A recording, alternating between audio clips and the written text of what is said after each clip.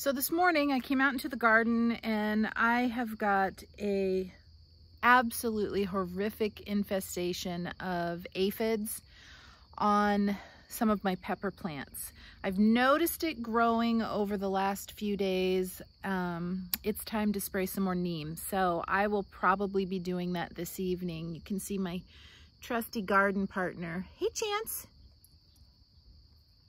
He says hello. Um, trying to just sort of minimize some of the damage that they're doing. At this point, I've looked for ladybugs multiple times on Amazon. It's almost impossible to find them. And if you can find them, they are like a hundred bucks and no, thank you. Um, so we'll do whatever we have to do. Um, like I said, I try to be organic as much as possible. Um, so I'm going to go that route first, obviously, and we'll see what we can come up with. Hopefully I will be able to save all of this and uh, yeah, we won't have any problems. So here's one of the pepper plants I was talking about. You can see the some of the ants uh, that are kind of running around on there. Um, they are actually on there to eat the aphids, which is lovely, but uh, you're also eating some of my leaves. But if I lift this up, uh, there we go. You can see just aphids for days. And so one of the things I've been doing is kind of coming through and just trying to hand sort of wipe them off and um, squish them, get rid of them that way. But then they seem to be back on there the next day. So if you guys have any cure-alls besides what I'm doing, let me know. Otherwise, I'm going to keep doing this and I'm going to spray some neem this afternoon or this evening and go from there.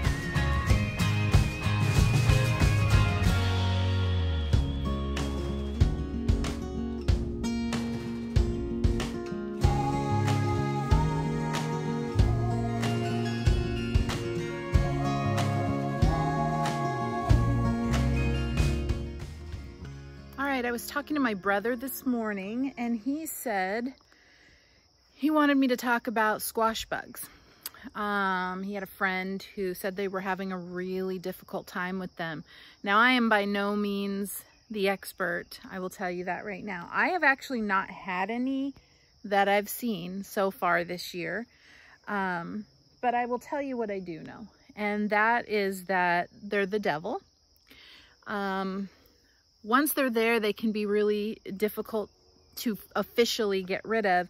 I have found the best thing you can do is to be super hands-on with your plants. Come out every morning, flip over the leaves, you know, see what's there. If you find them, get them, drop them on the ground, squish them, um, avoid the smell on your fingers. So I just drop them on the ground and I squish them or I get a rock and squish them. Um, if you have the, the eggs, you can get them and squish them, you know, between your finger and the leaf to try to get rid of them that way. If you're being completely overrun, there's a couple of things. Again, I try to be as organic as possible. So neem oil is my friend. Um, I've actually had to use it three times, I think, this growing season. Um, mostly because I'm dealing with some serious aphid issues in my peppers. Um, and sometimes I feel like I'm winning the race and sometimes I feel like they're winning the race. But as far as uh, using the neem oil, just make sure that you're not using it during the daytime because it can burn your plants. So I always do it after the sun has gone down, before it's dark. Um, and that way it has all night to sort of work its magic and hang out on the plants and and all of that. And then the next day you should be good to go. Um, it's okay to do that about once a week. Some people do. I try to use it as sparingly as possible. Another thing you can do is take a piece of cardboard or like a two by four and lay it in your bed. Okay, just right there on the ground. Squash bugs tend to like to hang out underneath something. And so you can lay that down in the evening and then come out early the next morning and flip it over and you'll usually have a few squash bugs under there. You grab them up, squish them, boom, you've dealt with them, and then you just repeat that cycle, um, continuing to check under your leaves.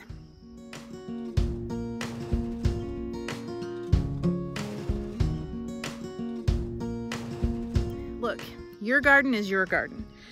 Um, I am all for being 100% organic. And if I can do that, I do that because I want to know what's going in to the bellies of my family. Okay? But you have to do what you have to do. And so if you have to use a, a stronger product, I'm not judging you.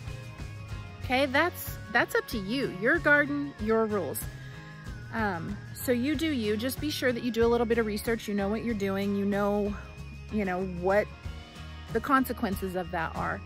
And it's fighting the good fight. Everything has a cycle. The squash bugs will come, the squash bugs will go. Uh, hopefully you're not fighting a serious infestation because once they come in, sometimes they will lay their eggs in your soil and then the next year and the next year, it's really hard to deal with them. But try some of those tricks.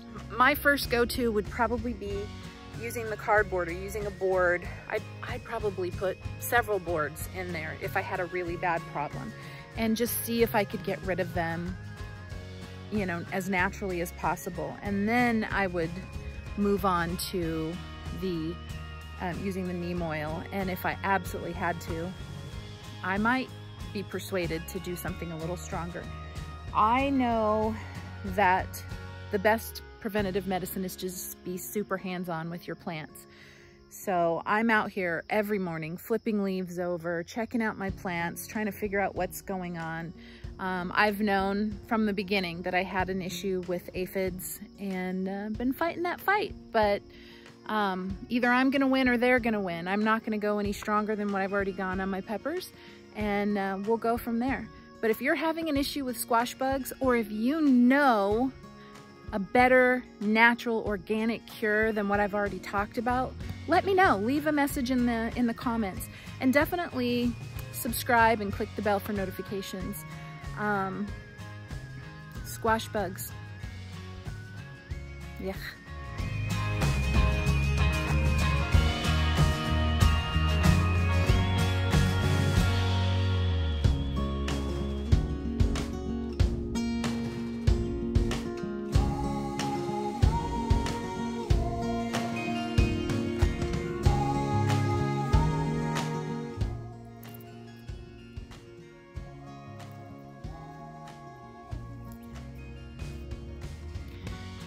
Keep in mind with the squash bugs too, you can always try diatomaceous earth.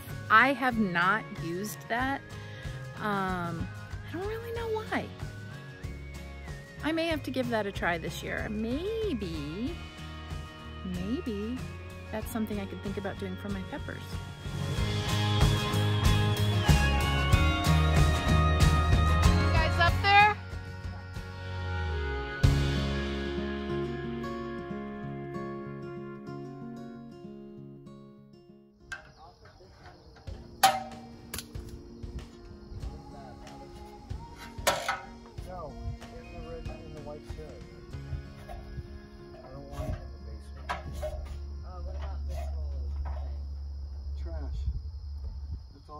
Keep moving.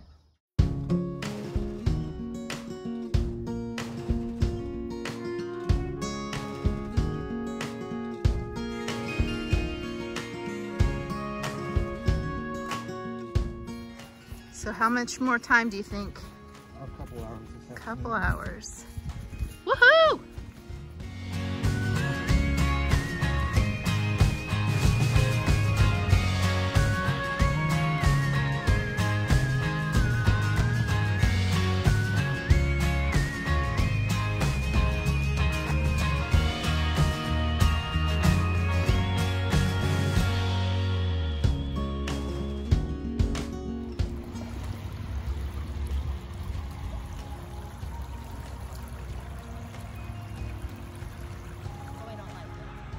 I don't like it.